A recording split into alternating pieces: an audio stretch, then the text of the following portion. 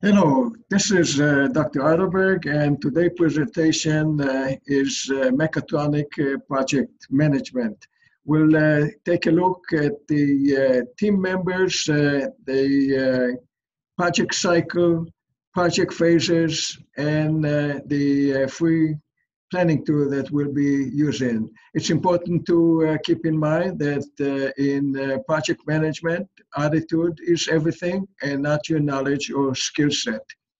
The uh, typical team member on a mechatronic project is uh, with uh, high knowledge in one particular area, whether it's software, electrical, or mechanical, but with a lot of curiosity and a interest in continuous learning of all the other fields, communication software and electronic, if it's a mechanical engineer, mechanical software communication, if it's electrical, and so on and so forth.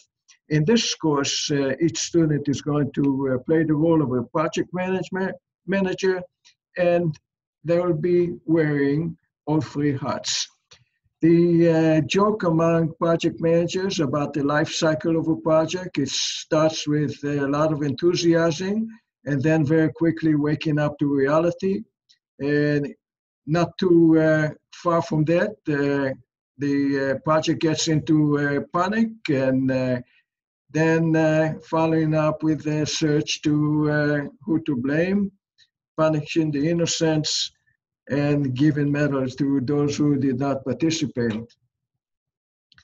project phases, starting from a simple Arduino machine learning device that uh, will cost $100 uh, all the way to 1 billion space travel project.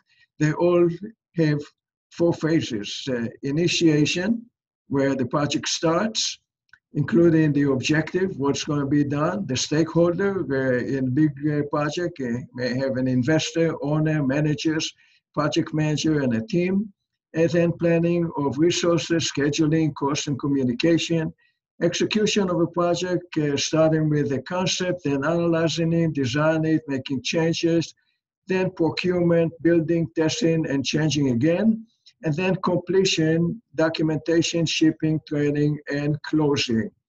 The uh, relative uh, dollar cost uh, per error correction in any one of these phases goes exponentially.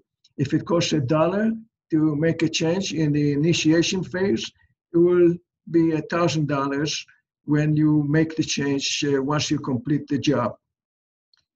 Planning is the key to success. Uh, failing to plan is planning to fail, according to Benjamin Franklin, which is uh, very true today. There are several types of uh, project styles. Uh, the uh, main one are sequential, traditional so-called, where you start with the requirements, uh, do the design, implement it, verify it, and then uh, maintain it. But the uh, preferred uh, cycle is the uh, heuristic or iterative. You plan, you uh, start with the requirement, do analysis and design, implement, and then before you deploy, you test it and you value it and plan again, analyze again, and then when everything gets green checkbox uh, you then deploy it. We will start uh, with uh, a free Gantt chart tool where we plan all our tasks in a course project. You go to this website and down here and you download it. The originator of this uh, tool uh, is giving us a introduction, uh, a learning session and uh, we will uh, uh, plan on the next phase of this course, the project, and follow up till the end of course.